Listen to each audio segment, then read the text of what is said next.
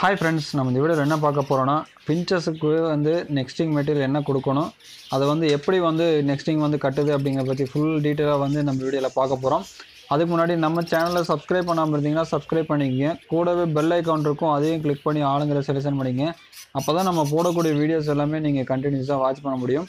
இப்போ நம்ம வீடியோக்குள்ளே போகலாம் ஃபஸ்ட்டு நம்ம பி பிஞ்சஸ் வந்து நெக்ஸ்டிங் எப்படி கட்டுது அப்படின்னு பற்றி பார்க்கலாம்.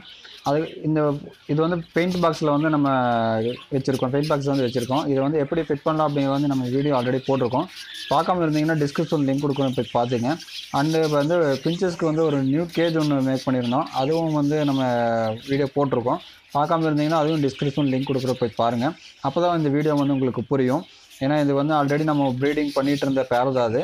இதுக்கு வந்து நம்ம புதுசாக ஒரு கேஜும் ப்ளஸ் வந்து நெக்ஸ்டிங் பாக்ஸும் வந்து நம்ம கட்டியிருக்கோம். இது பெயிண்ட் பாக்ஸ் நம்ம கட்டியிருக்கோம். இதில் வந்து பார்த்திங்கன்னா எந்த அளவுக்கு வந்து நெக்ஸ்டிங் வந்து கட்டியிருக்குன்னு பாருங்கள் இதில் வந்து நார்மலாக வந்து நெ நெக்ஸ்டிங் வந்து நம்ம ஆல்ரெடி கொஞ்சம் வந்து பாக்ஸ்குள்ளே போட்டு வச்சிட்டோம். ஃபர்தராக அதுக்கு மேலே வந்து நம்ம கேஜுக்குள்ளேயும் வந்து கொஞ்சம் போட்டு வச்சோம். அதுவும் வந்து பேர்டு வந்து எடுத்துகிட்டு போய் எந்த அளவுக்கு வந்து நெக்ஸ்டிங் கட்டியிருக்குன்னு பாருங்கள் நீங்களே.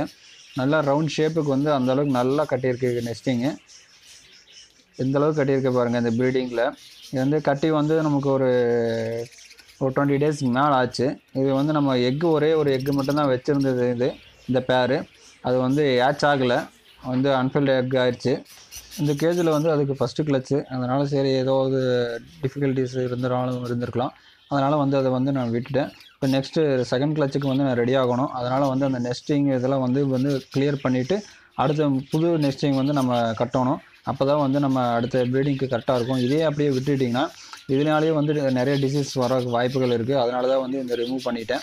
இதில் வந்து பார்த்திங்கன்னா அது பிஞ்சஸ் வந்து எந்த அளவுக்கு வந்து அந்த வேஸ்ட் எல்லாம் போட்டு வச்சுருக்குன்னு பாருங்கள் இதுலேயே. இதனாலேயே வந்து நமக்கு டிசீஸ் வந்து ரொம்ப அதிகமாகும்.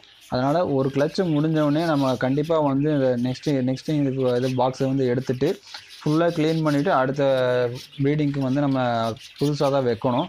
அப்படியே விட்டுட்டிங்கன்னா நீங்கள் அது வந்து டிசீஸ் வந்து பரவ ஆரம்பிச்சிடும் பேர்ட்ஸே வந்து நம்ம இழக்கிறதுக்கு வாய்ப்புகள் இருக்குது அதனால் வந்து நீங்கள் மேக்ஸிமம் வந்து நெக்ஸ்ட் நீங்கள் ஃபுல்லாகவே வந்து ரிமூவ் பண்ணிவிட்டு நல்லா க்ளீன் பண்ணிவிட்டு அடுத்த இதுக்கு வைங்க.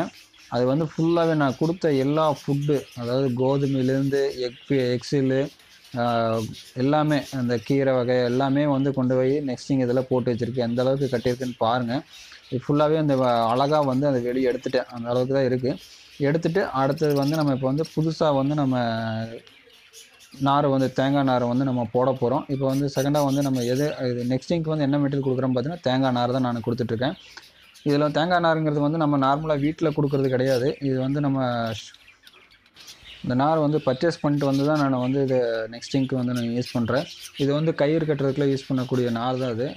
இந்த நாரை வந்து நம்ம யூஸ் பண்ணுறோம் நம்ம வீட்டில் இருக்கிற நாரையும் யூஸ் பண்ணலாம். அது வந்து கொஞ்சம் தடிமனாக இருக்கும். அதனால் வந்து பேர்ட்ஸுக்கு வந்து அதை தூக்கி கொண்டு போய் போட்டு அதை நெக்ஸ்டிங் பண்ணுறது கொஞ்சம் கஷ்டமாக இருக்கும். இது வந்து கொஞ்சம் நல்ல சின்னதாக இருக்கும். அதனால் வந்து தூக்கிட்டு போகிறதுக்கு கொஞ்சம் ஈஸியாக இருக்கும். பட் நான் வந்து என்ன பண்ணுவேன்னா ஃபஸ்ட்டே வந்து ஓரளவுக்கு வந்து அது எந்த அளவுக்கு பேர்டு வந்து கட்டுமோ அந்த அளவுக்கு நான் வந்து நெக்ஸ்டிங் இதுவும் வந்து நான் உள்ளே வச்சு நானே ரவுண்ட் ஷேப்புக்கு கொண்டு வந்துடுவேன் இப்போ பார்த்தீங்கன்னா வீடியோவில் பார்த்தீங்கன்னா இந்த அளவு இந்த மாதிரி தான் நான் வந்து ஆல்ரெடி பண்ணி வச்சுருவேன். ஏன்னா ஒரு பேர்ட்ஸுக்கு வந்து அதை டைமிங் வந்து சேவ் ஆகும். அதே போக அதனோட எனர்ஜியும் வந்து கொஞ்சம் சேவ் ஆகும். அது ஒவ்வொன்றா எடுத்து கொண்டு போய் கட்டி அது வந்து டைம் வந்து ரொம்ப அதிகமாக எடுத்துக்கும். அதே போக அதனுடைய எனர்ஜியும் வந்து லாஸ் ஆகும். அது வந்து வெயிட் வந்து ஒவ்வொன்றையும் தூக்கிட்டு கொண்டு போய் ஓடுறதுக்கு கொஞ்சம் லேட் ஆகும். அதனால் வந்து நம்ம இந்த மாதிரி பண்ணி கொடுத்துட்டு அது போக நம்ம கொஞ்சம் எக்ஸ்ட்ராவாக இது வந்து ஒரு கொஞ்சம் நேரம் வந்து நம்ம கேஜிலையும் போட்டிருக்கணும். அது வேணுங்கிற மாதிரி வந்து அதுவும் திரும்ப வந்து அது லைட்டாக கட்டிக்கும். கட்டிட்டு அது வந்து ப்ரீடிங்க்கு வந்து குயிக்காக வந்து ப்ரீடு ஸ்டார்ட் பண்ணிடும் அதுமாதிரி நம்ம போடாமல் விட்டோம்னா கொஞ்சம் அது ப்ரீடிங்க்கு வந்து டைமிங் வந்து கொஞ்சம் எடுத்து ரொம்ப எடுத்துக்கும். அதுக்காக தான் நம்ம இந்த மாதிரி பண்ணுறோம் ஓகே ஃப்ரெண்ட்ஸ் நம்ம இந்த வீடியோவில் என்னென்னா நம்ம பிஞ்சஸோடைய நெக்ஸ்டிங் மெட்டீரியலும் ப்ளஸ் நெக்ஸ்டிங் வந்து எப்படி கட்டுறது பற்றி நம்ம வீடியோவில் பார்த்தோம். இந்த வீடியோ பிடிச்சிருந்தா லைக் பண்ணுங்கள் ஷேர் பண்ணுங்கள் கமெண்ட் பண்ணுங்கள் ஏதாவது டவுட்ஸ் இருந்தால் கமெண்ட் பண்ணுங்கள் நான் வந்து டவுட் இருந்தால் க்ளியர் பண்ணுறேன் நம்ம சேனலில் நெக்ஸ்ட் வீடியோனா வந்து பார்த்திங்கன்னா நம்ம பட்ஜெட்ஸோடைய சிக்ஸோட அப்டேட் தான் நம்ம பார்க்க போகிறோம் நீங்கள் மறக்காமல் வந்து சப்ஸ்கிரைப் பண்ணாமல் இருந்தீங்கன்னா சப்ஸ்கிரைப் பண்ணிங்க அப்போ தான் நம்ம நெக்ஸ்ட் வீடியோவில் பார்க்கும்போது உங்களுக்கு கண்டிப்பாக நோட்டிஃபிகேஷனாக வரும். தேங்க்யூ ஃபார் வாட்சிங்